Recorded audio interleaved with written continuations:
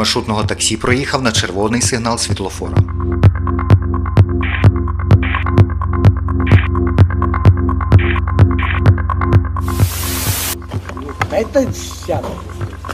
Поліція затримала водія на підпитку.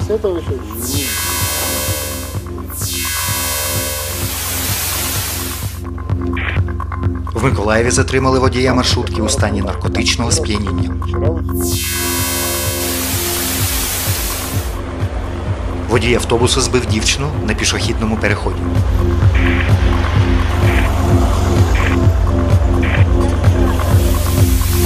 Смертельне ДТП. В Миколаєві зіткнулись вантажівка та маршрутка.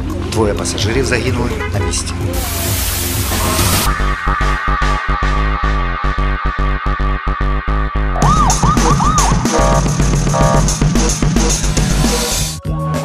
Головні герої всіх цих подій водії маршрутних таксі, які перевозять нас кожного дня. Миколаївці та гості міста мають можливість користуватися трьома видами пасажирського транспорту: тролейбуси, трамваї та маршрутні таксі. Чисельність наявного населення міста Миколаєва за оцінкою на 1 квітня 2017 року становила майже 490 тисяч осіб. За даними останнього моніторингу, який було проведено на початку цього року, послугами електротранспорту за день користуються 138 тисяч осіб, трамваями 72 тисячі, тролейбусами 66. По автоперевізниках офіційні дані пасажиропотоку відсутні. Комунальне підприємство Миколаїв Електротранс є неприбутковим і датується за рахунок бюджетних коштів. На його балансі знаходиться 85 одиниць техніки. Діяльність прозора, відпрацьована та налагоджена система продажу квитків. Ведеться фінансова звітність. предприятия, поскольку мы возим постоянно льготный контингент пассажиров, мы не отказываем в проезде ни пенсионерам, ни детям, ни школьникам, никому. Всех, кого нужно возить по законодательству, мы перевозим. Но город идет навстречу предприятию и компенсирует нам затраты на перевозку льготного пассажира. Пріоритетним і в той же час законодавчо неврегульованим напрямом є перевезення пільгових категорій населення. Сьогодні в Миколаєві це майже 153 тисячі осіб. До 2015 року відшкодування перевізникам відбувалося за рахунок держбюджету. У 2016-му вже набрав чинності закон про децентралізацію, і всі видатки, в тому числі відшкодування за пільговиків, лягло на плечі місцевої влади. кошти наші, а хто має отримувати пільги, визначає держава. Безкоштовно не існує. Тобто безкоштовно це значить, що хтось за тебе заплатив. Просто це не ти. От наразі безкоштовно це коли платить все місто. Нам просто передали ці повноваження, давайте відшкодовуйте, а з яких, е, з яких е, ресурсів е, не передбачили. Комунальне підприємство Миколаїв Електротранс виконує левову частку цієї соціальної функції. Тому в цьогорічному бюджеті міста передбачено 31 мільйон гривень на компенсацію пільгового перевезення трамваями та тролейбусами. вопрос э, проезда э, жителей города, кто пользуется льготами, электротранспортом, вопрос урегулирован. Те желающие, кто имеет на это право, безусловно, это право э, реализуют. З автоперевізниками ситуація набагато складніша, і проблема навіть не в тому, що досі не існує чіткого єдиного механізму нарахування і розподілу компенсації. Всі виконавці послуг є приватниками. На уровне э, министерства эм, нам э, последний вот раз информация была доведена, что разрабатывается единый по всей Украине порядок. Э, До 1 июля этого года обещают, что он будет принят. Так сталося, що років з 20 миколаївських автоперевізників ніхто не контролює, принаймні з офіційних органів. Звідси і маємо відсутність фінансової прозорості, хамів водіїв, незадовільний технічний і естетичний стан транспортних засобів, ДТП за участю маршрутних таксі. Розібратися в ситуації неодноразово намагалися активісти та наші колеги-журналісти. Було виявлено безліч порушень і зловживань. Прораховано об'єм чорного кешу. Однак все як в кращих традиціях консерватизму старої Англії. Ніяких змін, склад команди залишився незмінним. абсолютно ті ж, е, і вони не змінилися. У нас там 11 перевізників, які от між собою. Та знову ж ми розкладочку маємо ту ж саму, на манежі все те же. Обстановка не змінилася. І вони абсолютно комфортно починають, їх ніхто не напрягає з боку виконкому, хоча давно вже мав би так, ну пока- виконком би мав би показати, хто тут хазяїн по факту, хто диктує умови. Ця ситуація склалася не вчора, не позавчора, і е, далі, в принципі, вона в такому вигляді існувати не може. Розуміємо, що люди, які отримали е, перемогу на конкурсах, перевізники, вони не виконують або не в повній мірі виконують свої зобов'язання по договорах. І місто, в принципі, знаходиться в не найкомфортнішому стані. Тому, відповідно, ми працюємо над тим, щоб оздоровити цей ринок. Сама схема руху пасажирського автотранспорту нагадує класичний бронівський рух елементарних часток в режимі змагань Формули 1 під акомпаньмент королів шансону. Е, Дуже складна ситуація з транспортом в місті Миколаєві. Е, Поясню це чим. Е, Відсутність пасажирських автобусів великої вмістимості це перше велике е, питання для самого міста Миколаєва. Велика кількість маломіських пасажирських маршруток, це ми беремо там Volkswagen, Мерседеси, спринтера, там 18-20 місць. І вся маршрутна мережа построєна таким чином, що вони всі зустрічаються в центрі міста. Це призводить до транспортного колапсу в часи пік. І ось в травні цього року Асоціація перевізників Миколаєва направила до міськвиконкому офіційне звернення щодо підвищення тарифу. Реакція громадськості була передбачуваною, адже за такий сервіс не те, що збільшувати вартість проїзду, а взагалі платити не хочеться. Ми всі користувачі, і я в тому числі користувач громадського транспорту, і як паскудно відносяться водії да, до своєї роботи, як хамлять, викидують людей. Тобто, ну для Миколаєва це я не буду, щоб не повторюватися, скільки фактів, коли просто водії по-хамськи себе вели і були фізичні напади. Тобто це неадекват повний. Проаналізуємо кілька пунктів договору між замовником послуг міською владою та фірмами-перевізниками. Ну що, мерці, поїхали? Візьміть за проїзд. Хвилинку. Алло, слухаю.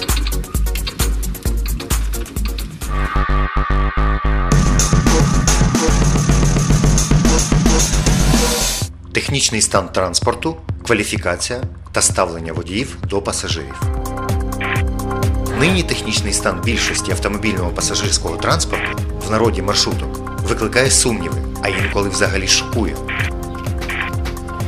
А причина проста: після ануляції одного з найбільш корумпованих, принаймні як розповідається в анекдотах, структур МВС Державної автомобільної інспекції разом з нею відійшов у інший світ і технічний відділ.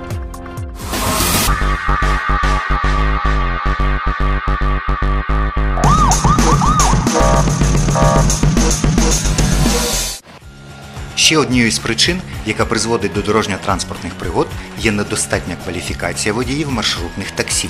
Виявляється, в Миколаєві є навчальний заклад, фахівці якого можуть здійснити реальну перевірку знань водіїв маршруток. То есть, если человек не готов, значит, ему нужно будет дать время для переподготовки. Через постійні випадки хамства у спілкуванні з пасажирами та загалом поведінки маршрутників на дорогах до курсу навчання включено такий предмет, як етика водія транспортного засобу. С 90 программных часов э, только 6 часов э, отводится на предмет э, этика водителя. Поэтому, ну, скажем так, факультативно. То есть это азы, основы. По факту мы с вами понимаем, что происходит на дорогах. Конечно, хотелось бы, чтобы уважение друг к другу среди наших водителей росло с каждым годом.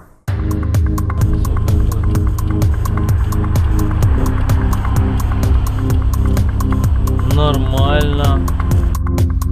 І красномовні розповіді керівників підприємств-перевізників, що гори водії покарані та звільнені, залишаються тільки словами. По-тихому вони можуть перезаключити перезаключить договор, э, тем более, что машины на данный момент э, не привязаны так сильно, как ранее к единому хозяину, то есть это может быть ну, буквально там дело пары бумажек, э, переоформить другую фамилию, заложить в этот список. То есть, в принципе, мы можем иметь такую ситуацию, что того же водителя физически можно увидеть или на другом маршруте, или даже на том же.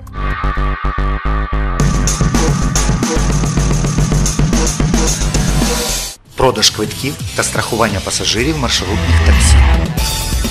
У серпні 96-го року Кабінет міністрів України прийняв постанову про обов'язкове особисте страхування від нещасних випадків на транспорті. Згідно з нею, пасажири страхуються в усіх видах транспорту. І єдиним документом, на підставі якого пасажир може отримати компенсацію у випадку виникнення ДТП, є квиток. пассажиры, которые не были обелечены, они не имеют права на компенсацию. Нет у них доказательств на тот момент, что они были в этот момент в этом транспорте. В страховую компанию он ну, не имеет э, права обратиться, потому что э, у него нет основного документа для возмещения. Это страхового полиса, который, которым в транспорте является билет. Поэтому пассажиры, в принципе, понимая ответственность э, свою, понимая ответственность э, перевозчика, ну, я думаю, что обязаны и должны требовать билет. Кто спрашивает, тому даем билеты, да. Так что вот на прополую давать. Ну вот лежит на торпеде билеты, всех желающие могут его брать. Нет, ну каждый рейс кто-то спрашивает. Вот я же не говорю, я же говорю, что никто их не берет так на прополую, как раньше это было. Заходишь в троллейбус и бьешь талончик.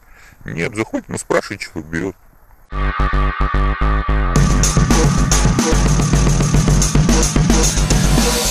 Керування в стані алкогольного або наркотичного сп'яніння. Інформація про вживання водіями заборонених препаратів чи алкоголю вже давно не новина. Деякі маршрутники на підпитку чи в наркотичному дурмані спокійно сідають за кермо та перевозять пасажирів. Наш герой Віктор багато років сам вживав наркотики. Употреблял. То есть как бы за рулем очень легко и просто То есть проходил доктора и э, ехал куда мне нужно, и брал, что мне нужно, и продолжал работать на маршруте, и все. На следующий день я приезжал, отмечался. То есть и все. То есть как бы ничего не показывает, никакой анализ. 12 років тому чоловік повністю відмовився від наркотиків та алкоголю. Неодноразово чув від колег, що зараз наркотики знайти вкрай легко. А сейчас и в этих в массе этих в аптеках курительных смесей, э, эти бутераты там, едьте, берите. В управлінні патрульної поліції пояснюють, в їх компетенції лише складання адміністративного протоколу на правопорушника. Документ надсилається до суду, де й визначається ступінь вини водія. Якщо е, суддя е, виносить ухвалу, що водій знаходиться, знаходився в стані алкогольного сп'яніння, то йому, якщо це вперше загрожує штраф у вигляді 10 тисяч 200 гривень, е, або позбавлення права керування на строк від 6 до 12 місяців. Якщо це не вперше. Не вперше, по другому разу це штраф у вигляді е, 20 тисяч 400 гривень або позбавлення права керування на строк до 3 років. Та при такому розвитку сценарію обов'язковими є висновки судмедекспертизи щодо наявності в організмі водія недозволених препаратів. Та верткі маршрутники знаходять виходи із ситуації. Як розповідає Віктор, на даний час в Миколаєві є безліч альтернатив, що не проявляються на жодному нарко чи алкотесті. Не, он пьется. Да, просто пьется. Ну да, да, да, обычно да, бутерады его дают там роженицам, то есть там буквально вот там разводят и подают там, я не знаю какого. Я его не, не пробовал никогда. Вот, и все, через 40 минут он никак не определяется. Человек проходит состояние этой эйфории и все. Он не определяется, это просто как лекарство, это лекарственный препарат в больших дозах.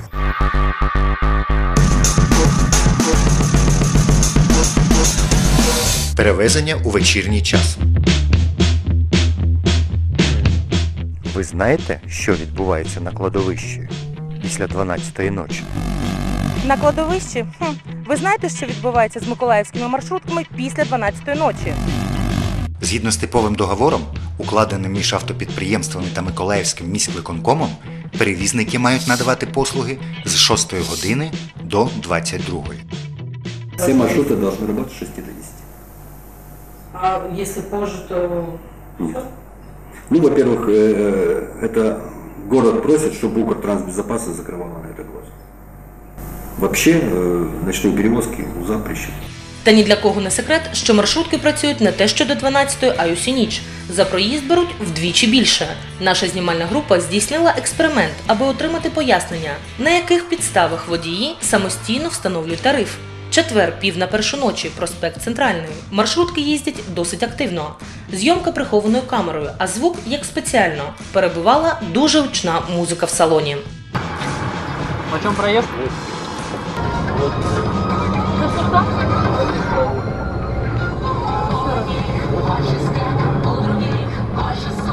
давно? Я просто не знала. А це так? На останнє наше запитання водій відповіді не дав. Інші водії не на камеру розповідають. Подвійний тариф у нічний час вже норма. І не тільки після 12-ї, а й раніше. Да, э, начинаем где-то уже с полдвенадцатого брать двойной тариф, потому что знаем, что людям э, как бы выхода у них нет. Э, Или они останутся на остановке, или сядут, заплатят и доедут все-таки домой. Семью кормить надо, так что у нас другого выхода нет. Э, Я сделал ночью пару кругов и заработал почти то же самое, что и днем за обычный тариф.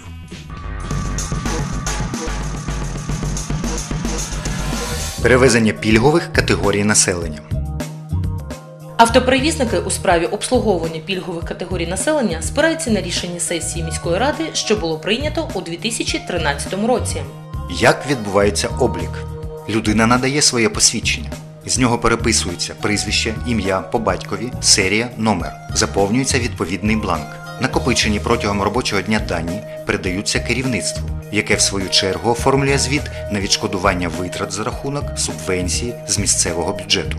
Далі інформація надходить до департаменту праці та соцзахисту населення для перевірки і узгодження. Всім компаніям-перевізникам було неодноразово запропоновано укласти договори на компенсацію, однак виконати умови більшість водіїв на маршрутах міста просто не зможуть. Для цього потрібен щонайменше кондуктор в салоні. Водії, таких чимало, без усіляких компенсацій суто по-людськи не відмовляють в законному праві тим, хто його має.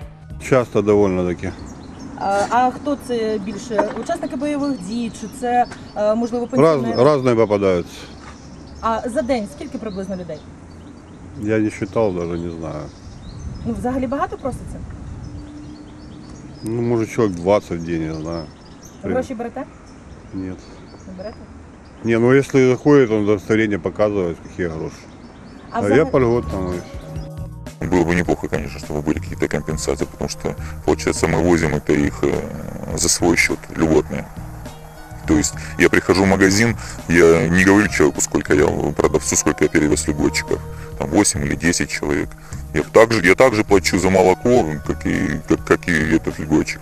У департаменті праці та соцзахисту населення міськради зазначили, що лише одне підприємство-перевізник, товариство з обмеженою відповідальністю Євротранстехсервіс дотримується всіх вимог, веде персоніфікований облік пільговиків, надає щомісяця звіт і в цьому році вже отримала загалом 700 тисяч гривень відшкодувань з бюджету міста. Ми безусловно, осуществляем э, контроль э, по нашим базам, вот, и уже по, по итогам э, акта сверки, соответственно, компенсируем э, этот проезд. На посаді директора Євротранстехсервісу В'ячеслав Кащенюк працює кілька місяців. А ще нещодавно він мав пряме відношення до міських пасажироперевезень. Тут взявся активно за знайому справу і вже запропонував для зменшення витрат і збільшення респектабельності об'єднати 83 і 54 маршрути. І зізнається, що справа зовсім не в дотаціях. Встретил меня учредитель предприятия, говорит, ты уходишь? Да, я ухожу. Говорю, давай пойдем ко мне, будем организовывать пассажирские перевозки э, здесь. Э, но самое главное, что никаким образом управление транспорта не влияет на получение льготных денег. Меня взяли сюда за то, что я умею организовывать пассажирские перевозки.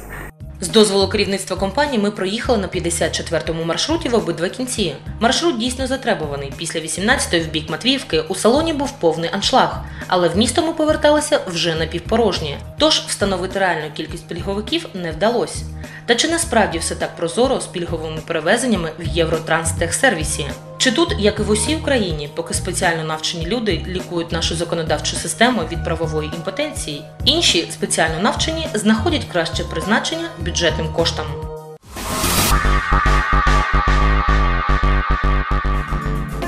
Містяни та спеціалісти неодноразово зверталися до влади щодо відмови від маршруток та їх заміни на комфортабельні автобуси великої пасажиромісткості. Але поки маємо те, що маємо.